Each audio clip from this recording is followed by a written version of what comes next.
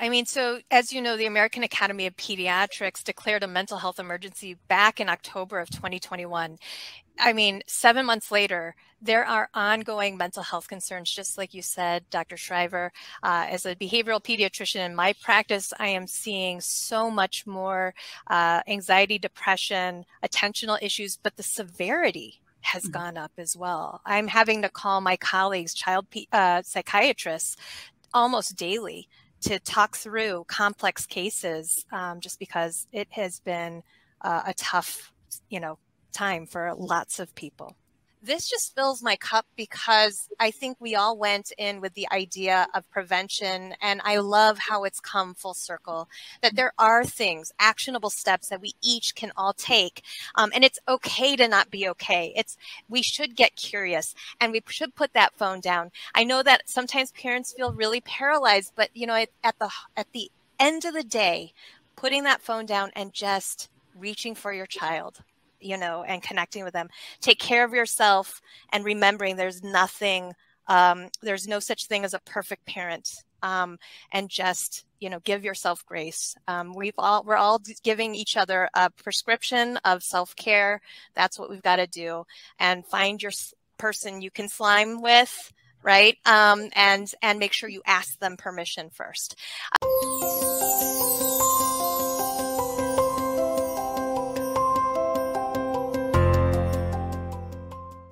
three types of abuse physical, uh, emotional, and sexual abuse, two types of neglect physical and uh, emotional neglect, and five measures of household dysfunction um, uh, parental substance abuse, parental mental illness, intimate partner violence, an incarcerated family member, or separation or divorce. And so they came up with an ACE score. So you got a one point for each one of those different categories.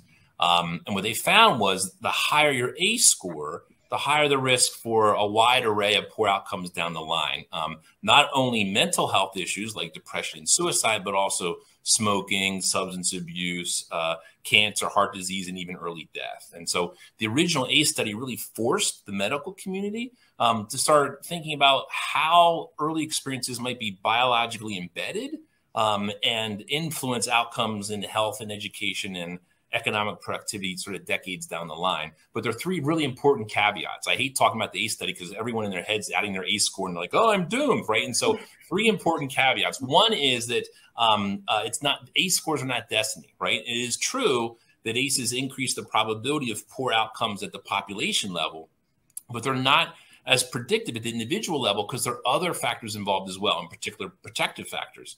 Um, the other thing is that there are other kinds of ACEs, right? So it's not just those 10. We know there are other types of adversity like exposure to racism and poverty and just social isolation. And so um, some experts have said, Dr. Ellis in particular has said that we should think about a pair of ACEs. There's adverse childhood experiences and adverse community experiences.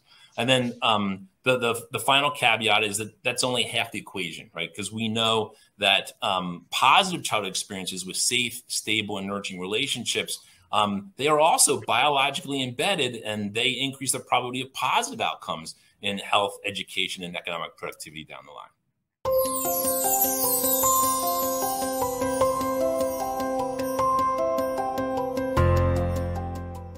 I know we're all excited about this topic.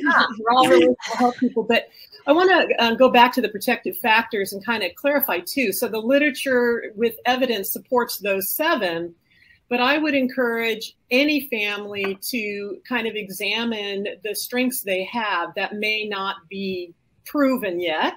Um, and, and there's some studies going on right now where we're kind of scoping out what, how many are there, what are there, what makes a protective factor, right? But I think parents um, often have a great instinct for that. And, and RJ, I love how you talk to parents about like, what do you do? And because, you know, parents have a toolbox and sometimes they just need to remember that or have confidence in it to, to draw upon it at, at tough moments, right? So just throwing that out there.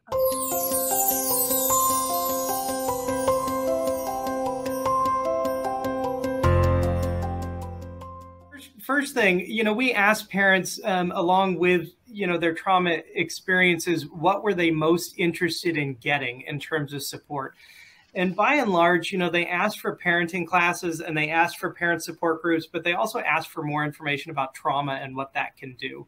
Um, so I think that the, the, the first tip is ask the family what they want right? Mm-hmm. What is it that they think would be helpful that they need? Second tip, it's usually not mental health, right? They usually don't need a mental health provider. They usually need some supports and some scaffolding um, for their parenting skills. And so those are the things that we usually turn to in terms of, of, of what we offer them. I think the third thing, just to kind of pick apart at the question a little bit, there's going to be a difference between did not experience safe and nurturing relationships and do not experience safe and nurturing relationships. So I'm super interested in who's in their life now and yeah. who's supporting them now. Um, and if you have that, that's great, right? So we go through this exercise with some of our families. It's about circles of support. And if you think about like drawing um, a target, so you have an inner circle, a secondary circle, and a tertiary circle. In the inner circle are like, who are the people in your life that you can call at two in the morning, no matter what, and they're going to have your back and they're going to answer your questions and they're there to support you. The second circle is, um, you know, the people who you might know more casually that you kind of would ask them questions some other time during the week, like, hey, I'm having a rough time, you know, can we go get coffee or whatever? Um, and then the tertiary circle are the people who are meant to kind of put guardrails on your life, as I put it. So that's like your pediatrician and, you know, maybe your, your priest or your religious leader or a mental health provider, or people like that who are there to kind of, you know, contain all of that.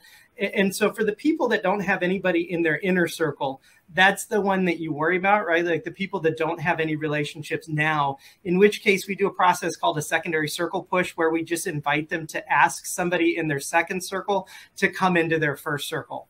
Um, and, and, you know, in all the times that my psychology colleagues have done this kind of thing, they've never had a, a person in a secondary circle say, No, I'm not going to do that for you. You know what I mean? That's not human nature. They're going to support you if you ask for it. But I think helping families to get the courage to, to ask for that support is really the, the, the kind of key thing. So, again, to me, that's the sort of third thing is, is, is not so much did you have safe and, and, and, nurturing relationships it's do you have them now? And if not then how do we sort of buffer that? And i think a lot of parent support groups will eventually form some of those sort of relationships if you're really um, stuck for finding somebody in their in, in their life. Um, so that to me is is you know first ask um, then um, you know figure out what what um, parenting supports you can give them. And then third you know kind of figure out who's in their life right now that can kind of help support them through through their parenting experience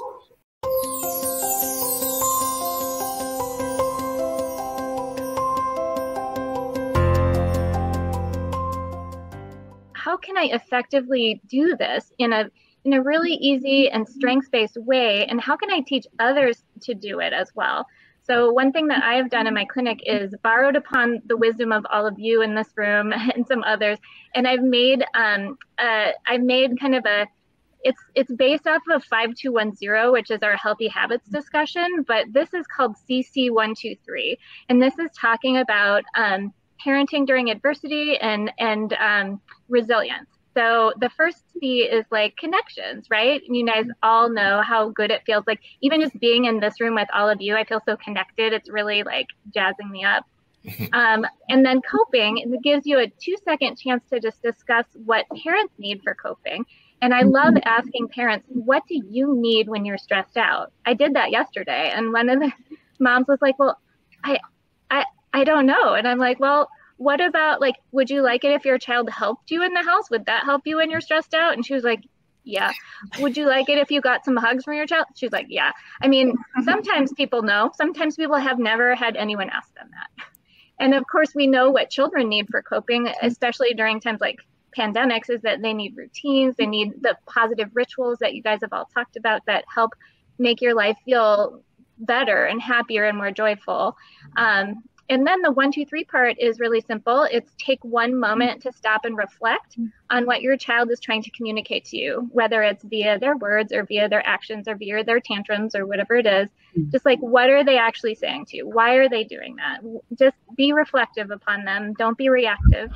And then the two is two eyes for seeing and two arms for holding. Like, we need to feel seen and acknowledged and uh, we need that attunement, and then we need the physical affection often. Not everyone, and I'm sure our child abuse experts in the room can tell you that some people don't really enjoy that, but but those who do really need it, and it's okay to ask for that. And that goes for parents. I ask for it.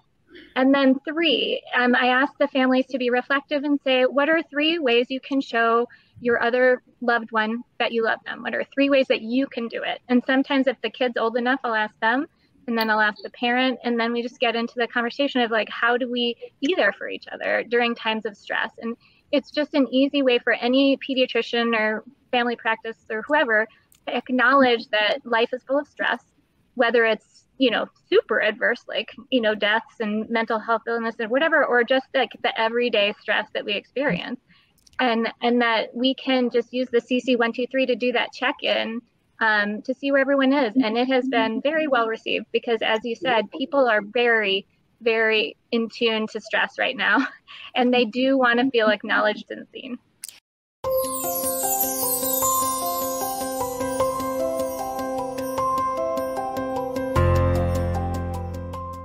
Said that stress is on everyone's mind, but in no one's medical chart. Um, and I think about that a lot as providers, as patients, as people. We we know just intuitively that stress physiologically disrupts our physical and mental health. Um, but right now, there seems to be a little bit of a a chasm or like a black hole, right? If if we see people with chronic headaches or stomach aches or pain, um, they're often told it's not medical, right? But but we actually know that prolonged activation of the stress response can lead to disruptions in our neurologic, endocrine, metabolic, immune pathways, right? This includes pain pathways, reward pathways, chemical signals to our gut and our digestion system that could affect obesity, right, and heart disease, and um, and all these functional uh, syndromes. Um,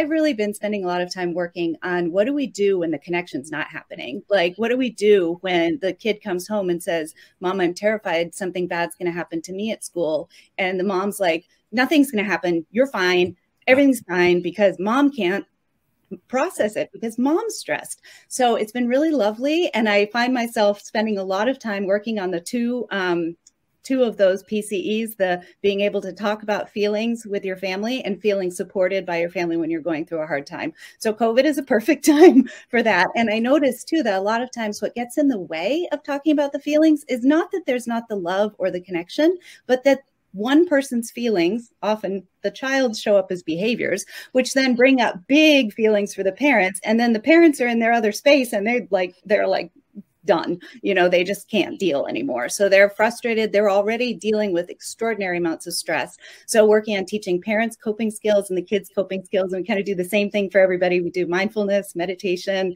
um, just really simple, basic self care skills. So when things aren't going well, pause for a second, take care of yourself, five big deep breaths. Uh, I do a toes to nose mindfulness thing where I have them start with their toes and go up their body to their head and just check in with your body and ground yourself in your body. Um, and it can really help to just allow families to access those PCEs when things are hard.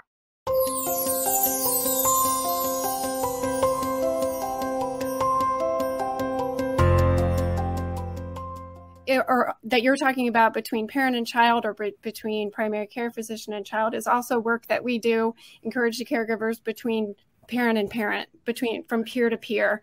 Mm-hmm. and and that is so powerful as well. And it's something that every single one of us can do in our lives um, that we can um, find our people right? We can tell our story in a way that feels um, safe and protected to people that we trust.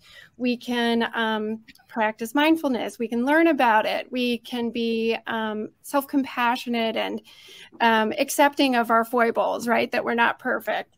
Um, so, and and also you mentioned about finding joys and and um, recognizing your own strengths. That's another thing that we really focus on, and also uh, important to resilience and that we can do for one another. You know, when one of us is low on hope, you know, we can be a hope giver to someone else and recognize strengths in other people.